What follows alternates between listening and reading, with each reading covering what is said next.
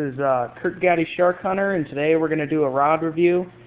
Um, before we get to that, I would just like to say, if you're in anywhere near Chincoteague, Virginia, and you want a good place to surf fish, go to Chincoteague. Go to Chincoteague Island, then go on to the Wildlife Reserve down to Assateague Beach. This is down in Virginia, on the very uh, bottom of uh, Assateague and the fishing there is phenomenal. And then there's one tackle shop. If you're a fisherman in the area, go to this one tackle shop called Captain Steve's Bait and Tackle. That's got to be my new favorite tackle shop. I've been there two times, and uh, every time it's just been a great adventure. Uh, if you're looking for a surf rod or any type of rod, ask Jerry. Ask for Jerry because Jerry's really the owner and uh, he's a very very nice guy. He recommended two rods to me, and I bought them both, and uh, they've been working perfectly. I caught some nice fish on them, including this uh, Lamiglas Surf King I bought, and uh, very very nice guy, and his he's not like most people that recommend rods just so they can get money. He really recommends them, so you're really going to be happy with the product. Okay, on to the rods.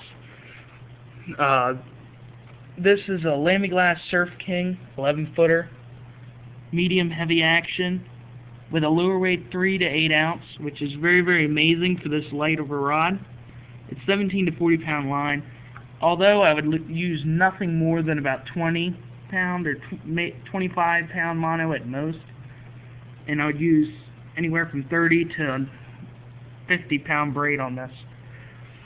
I do use mostly mono with this rod because I can use it as a lure rod too. It's got the original Kona flight system and it breaks two piece evenly it's 11 foot so it's a 5 foot 6 inch for each uh, piece.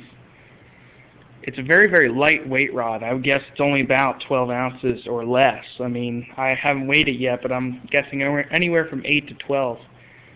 It's a very very light rod. Um, it's got the cork handle. If you can see that, that's it's got the cork handle. It's about two foot section of cork handle. And uh, this is pretty much Lamiglas's entry rod. It's got really nice bend to it. I mean, not too much, not too little. Um, when I cast it, I caught some nice fish on it. It handled uh, the fish very, very well. And uh, it casted very, very well. I usually use three to four ounce weights with it says it can cast 8 at maximum, but I'm not willing to try that. Just because it's such a light rod. It says 8 ounce right there. I usually cast 3 when I'm doing this, and then probably 2 ounce lures. Um, it casted lures about 75 yards, and it casted a fully rigged surf rig with 2 feet of uh, leader about 75 yards, so it does perfect casts. Um, I would recommend something like the 750 and I spool this one up with just 20 or a 17 pound mono, about 250 yards of 20 pound uh, 17 pound mono. I'm probably going to put some more on, probably about a total of about 300 yards. But uh, it's very very does great casts and uh, it goes for about 130 dollars. It casts beautifully. So uh, everybody thinks you got to have a $400 rod to be able to buy a Lamiglas, and uh, that's not true. But uh, this great quality rod, I caught fish on it, so it has been tested, and I've uh, actually had it doubled over a couple times with some bigger fish. Um, really, really good rod. So next time you're looking for a light tackle surf rod, light surf rod, and you can cast lures and rigs with. Uh, check out the Lamiglas Surf King rod.